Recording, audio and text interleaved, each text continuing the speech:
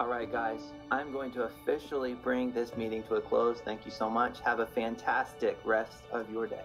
Okay, see you after Christmas.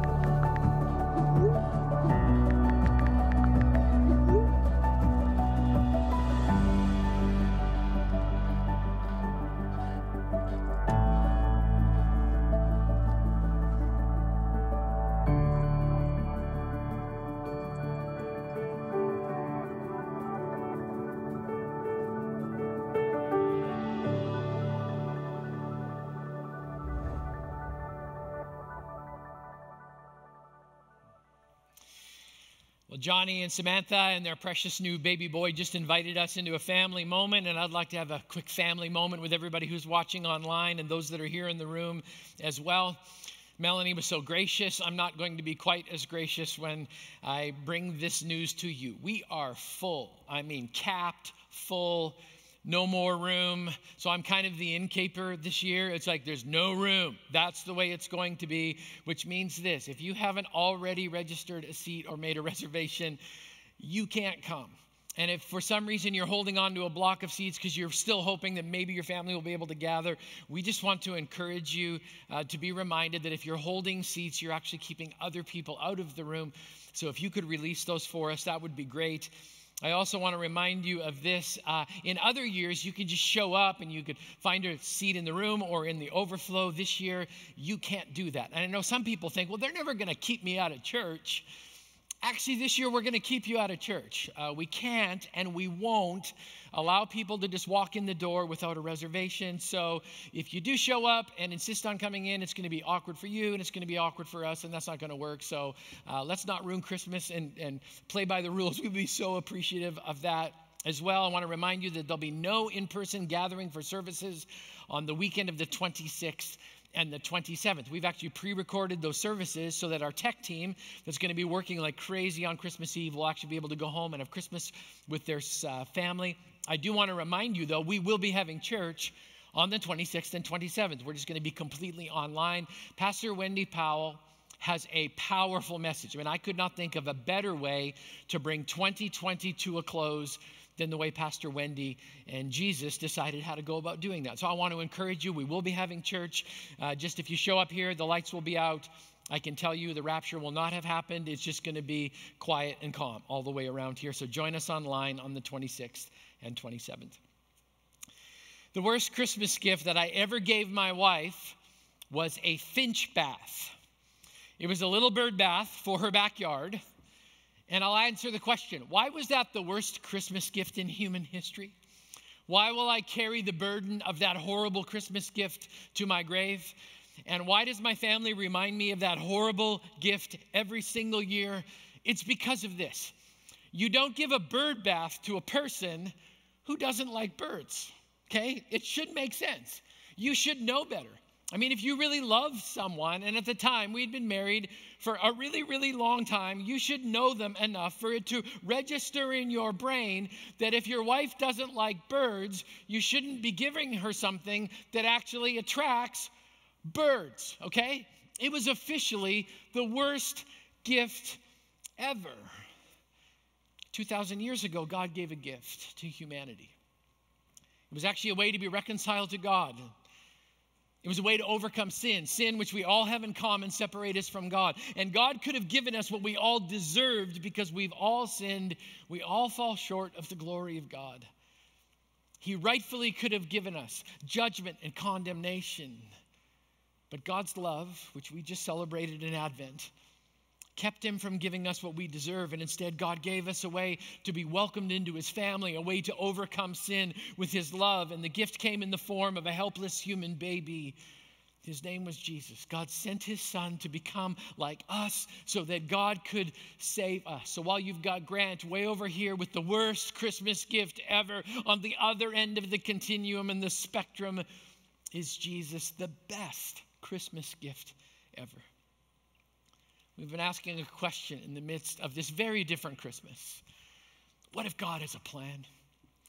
What if God is actually up to something? What if the God who created that very first Christmas is still working on the same plan 2,000 plus years later? There are two verses in the Bible that I believe encapsulate the heart of God's plan through Christmas. They're familiar and they're so well known. In fact, maybe they're too well known. Maybe we've heard them so many times that they don't even register within our hearts anymore. Maybe they're a little like Silent Night, and we needed to find a different way to enter into Silent Night so that the moment could actually mean something. Well, I'm going to read these verses to you slowly and surely. For the veterans in the room who have done this so many times that this is just kind of rote memory, you're kicking in. In fact, some of you are going to hear the verses and you're going to go, Really, Grant? That's the best you could do for Christmas? What if we just opened our hearts and said, God, could you take something old and make it new for me today? Let me read these words and let me challenge you to simply let them rest on your soul. For God so loved the world that he gave his one and only Son, that whoever believes in him shall not perish but have eternal life. For God did not send his Son into the world to condemn the world, but to save the world through him. As we get ready this week and prepare our hearts for Christmas Eve, I want to remind us in the deepest part of our souls of God's relentless love, of God's relentless pursuit of our hearts at Christmas. These famous verses start with the words, for God. The entire Christmas story begins and ends with God because while we like to think Christmas is all about us, it's actually all about Him. And I think we need a reminder in the middle of all the crazy, in the middle of the deep divides and the disunity, in the middle of all of the differing opinions, that this one anchor truth is still true today. God is God and we are not Him.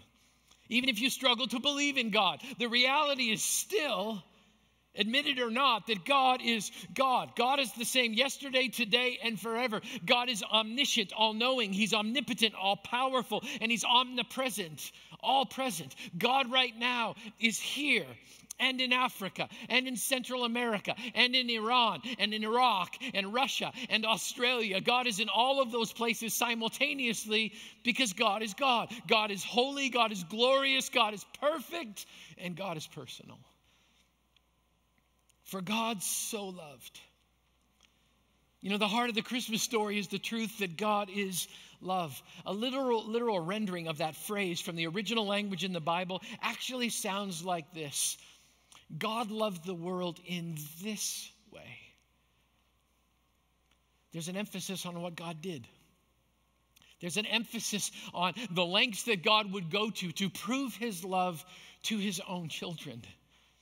For God so loved. And I love those words because that's what we reserve. That little word so, we reserve it for the people that are the most precious to us. It's not just I love you, it's I love you so much.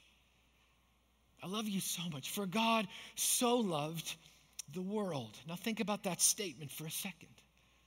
The world that rejected him the world that, that chooses to be their own God given an opportunity, the people, the, the world that, that pushes God to the side and, and makes him plan B. That world, that world, God loves because of the simple fact that God loves people. I tried to think of a great way to explain this. I tried to use pastoral language and all of my seminary stuff to try and come up with an explanation for the fact that God loves people. And I wish I had a better way to explain it, but I don't. I don't understand it. It's just true. God simply loves people, which means God loves you. And you may have a thousand objections. Honestly, they're irrelevant. God loves you. For God so loved the world that he gave. God does not take, he gives. God does not hoard, he releases. God does not withhold, instead, he extends a gracious, gracious gift to every person at Christmas time. Which leads us to a truth God is generous unbelievably generous. In fact, you'll hear the language that we use around our offering moments here at Christ the King. We never, ever, ever take an offering because we don't think taking lines up with God's character. Instead, we give back to God our tithes and our offerings. It's a subtle change, but I think it's really important because it links us up with the character of God, and God is generous. And the greatest act of generosity is that God the Father gave his one and only Son some of your translations say his one and only begotten son. The original word in Greek is monogenes, and it literally means of the exact same stuff. Well, if God the Father and God the Son are made out of the exact same stuff, it means that God the Father is God and Jesus the Son is God. They are one and the same. They have exactly the same essence. I know it's confusing. And this is where it gets a little crazy when we try to explain the Trinity, which, by the way, is inexplicable. God the Father, God the Son, God the Spirit, three in one, one in three. And some people go, I just don't understand how I can get a handle if you can't explain God. I would say this in response if you can explain God, you don't have God. So today we're challenged to just be okay with the mystery and the humanity. God the Father gave his only Son so that you and I could be reconciled with God and welcomed into his family. Years ago, I, I grew up in a, in a conservative Baptist church in Brandon, Manitoba, and two people dropped into my life. Their names were David and Muriel Boyce. So, Bo and Mur, if you're watching this morning, I love you guys. And I had the privilege of singing along with them. David and Muriel could sing like angels, and Muriel would play the piano, David would sing. And every year, we, we would just be so blessed as a church when David and Muriel would sing for us. For a time, my sister Karen got to sing along with David and Muriel, and then when she graduated from high school and went to college, uh, I got to step in, and I actually got to sing with David and Muriel as well. It was an incredible privilege. And every Christmas, we would dig out an old Dallas Holm song that to this day still moves my heart when I think about Christmas. The lyric said, God, it must have broke your heart to send your son away, knowing all the time the final price he'd have to pay. Left his home in glory and became a common man, and because he did, I am what I am. Now I am a man and have had two babies of my own. I wonder could I send my babies off and all alone to help someone somewhere, somehow, to set a captive free? Could I do the same for him who did the same for me? If I was to be honest, I don't know if I could. If it came down to a choice between you and Braden, McKenna, Olivia, or Alex, you lose. Because I love my children that much. And that's what melts my heart and my mind during this Christmas season. Because when God the Father had a choice between Jesus and Russell, and Jesus and Rick, and Jesus and Ron, God chose Ron and Russell and Rick.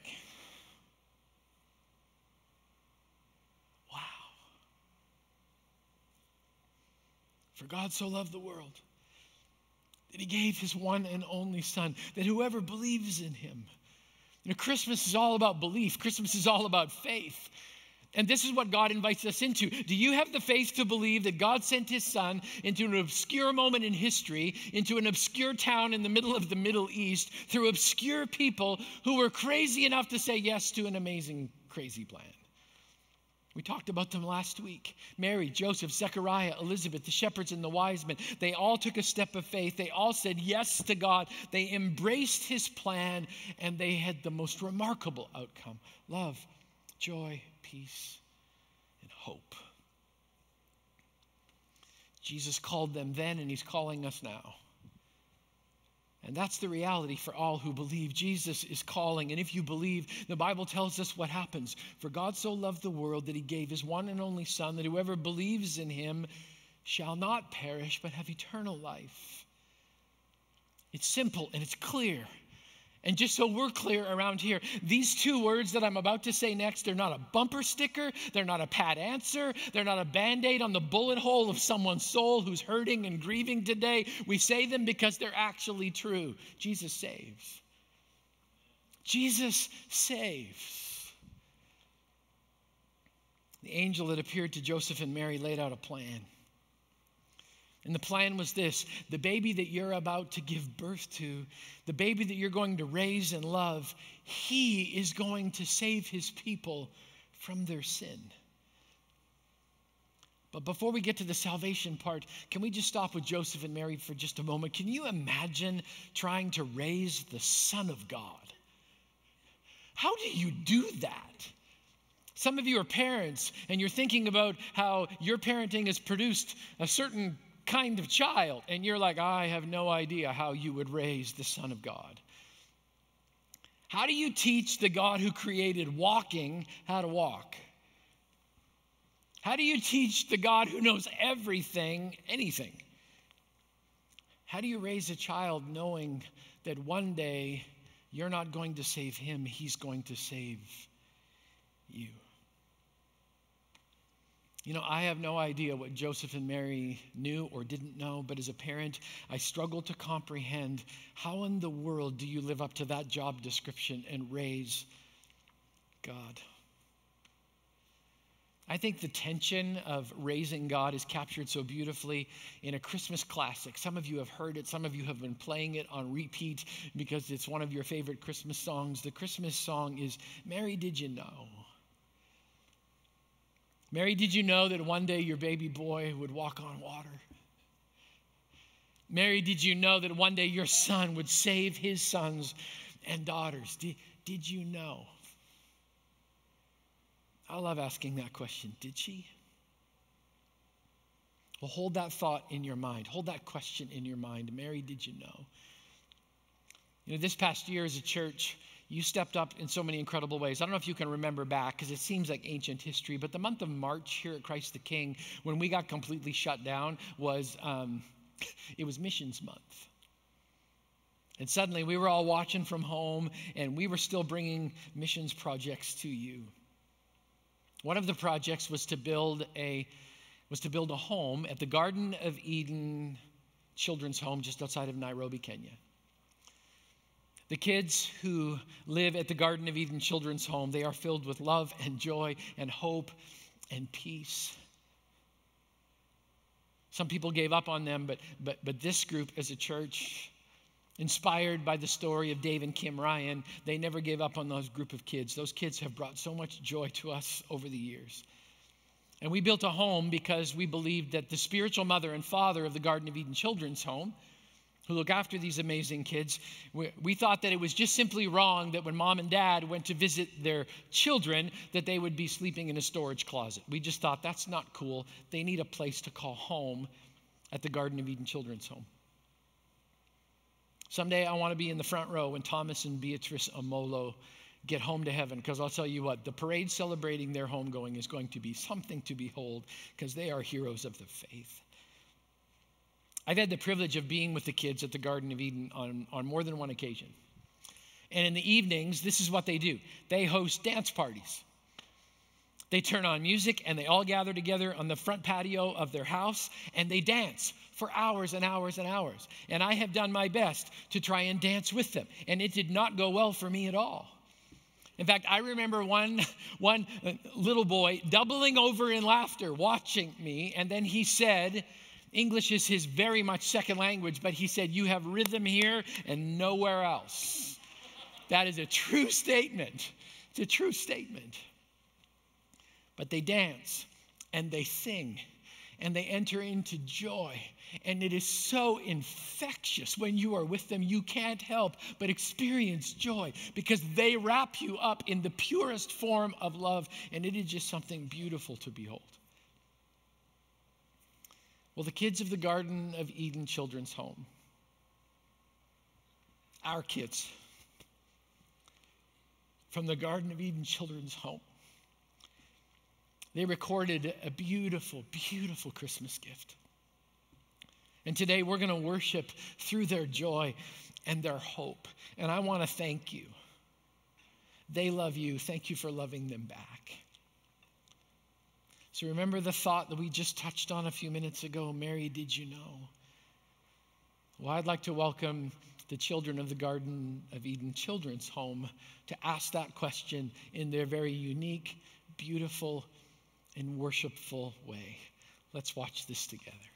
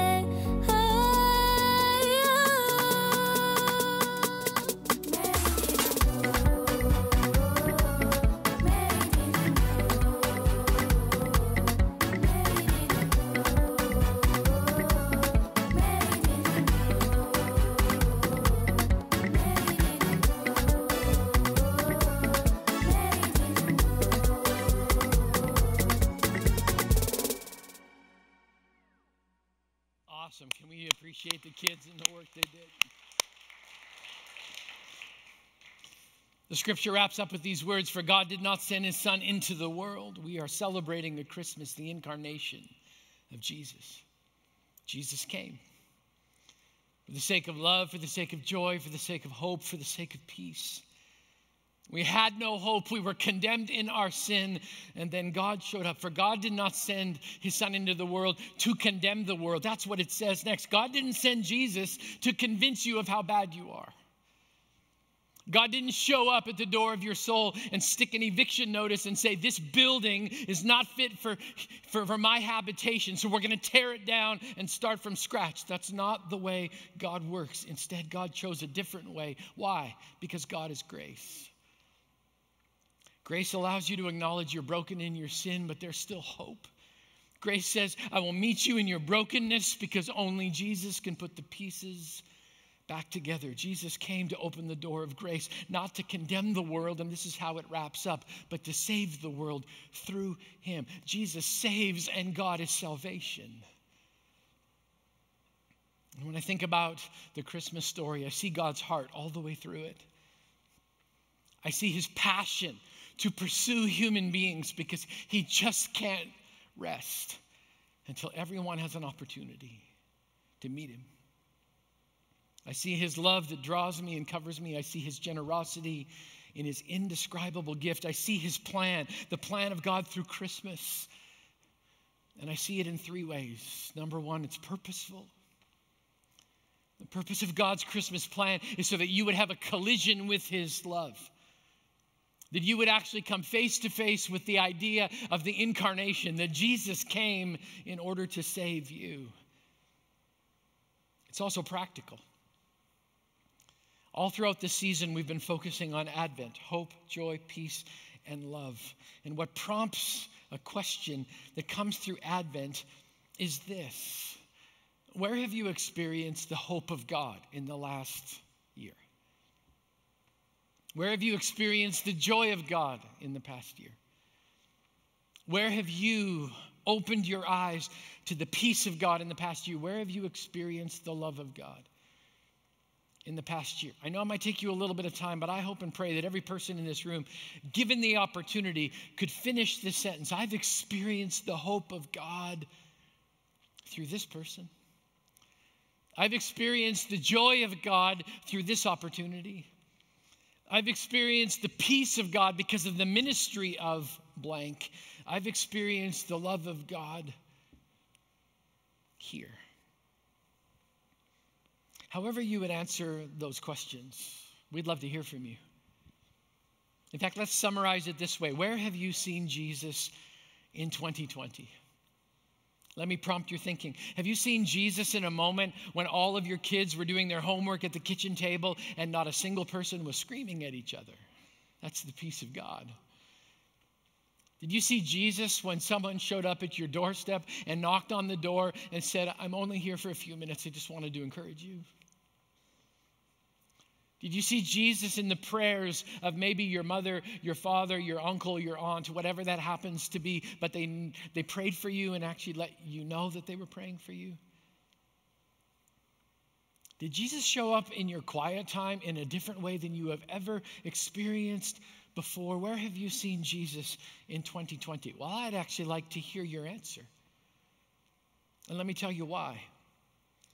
We'd like to compile some of these answers and use them as part of our Christmas Eve service.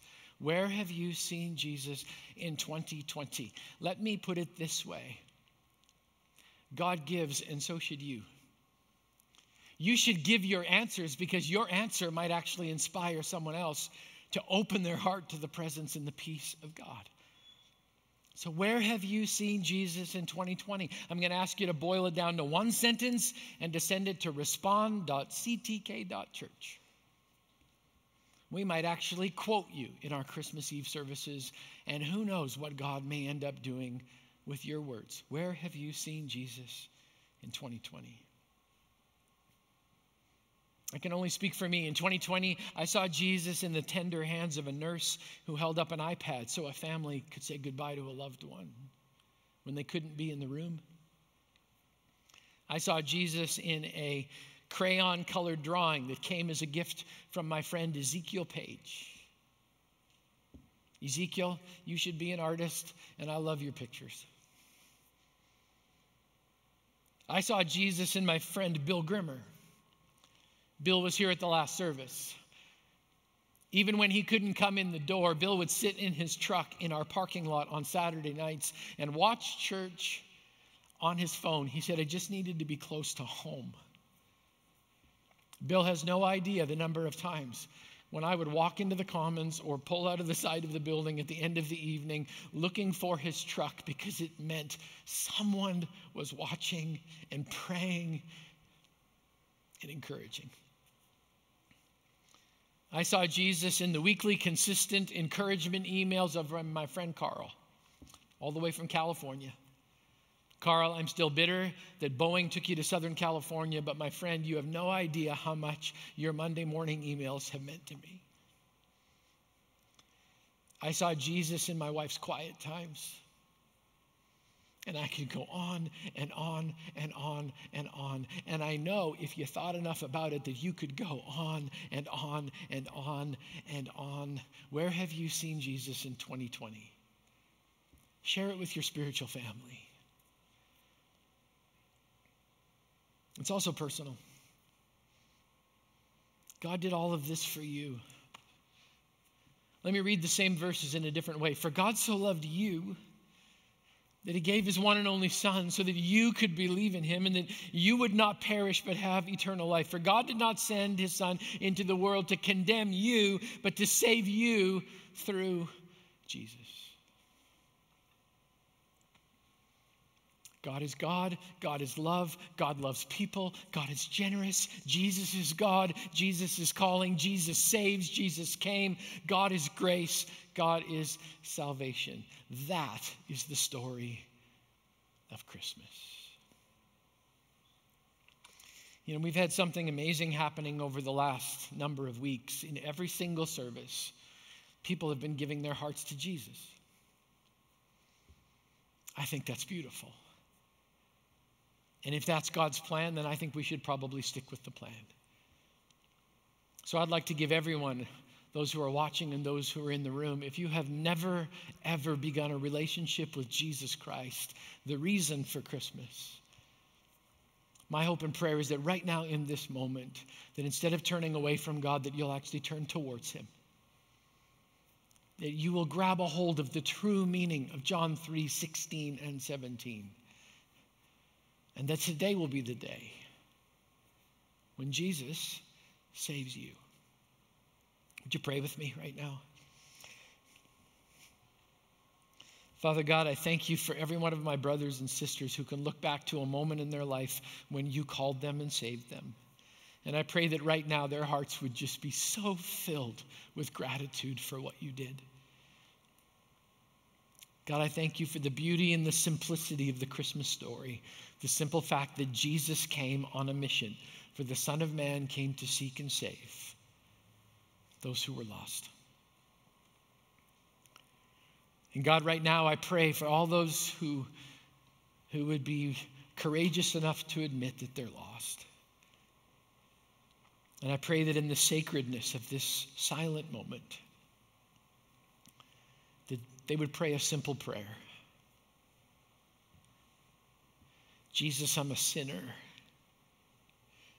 but you are a Savior. So, God, I come to you in this moment right now. And I confess that I took the life you gave me and I did it my way. But right now, I want to confess my sin. I want to repent and turn away from it and turn towards you. So, Jesus, right now, I give myself fully and completely to you. I know that asking for grace is not something I deserve. But I thank you that it's a gift that only you can give. Jesus, this Christmas, I give you the only gift that I have the rest of my life. I give it to you and ask that you would walk with me and use me to accomplish your plan for my life while I'm here on earth. Jesus, thank you for saving me. Thank you for not condemning me. And thank you for giving me the gift of salvation and eternal life. I pray this in Jesus' name.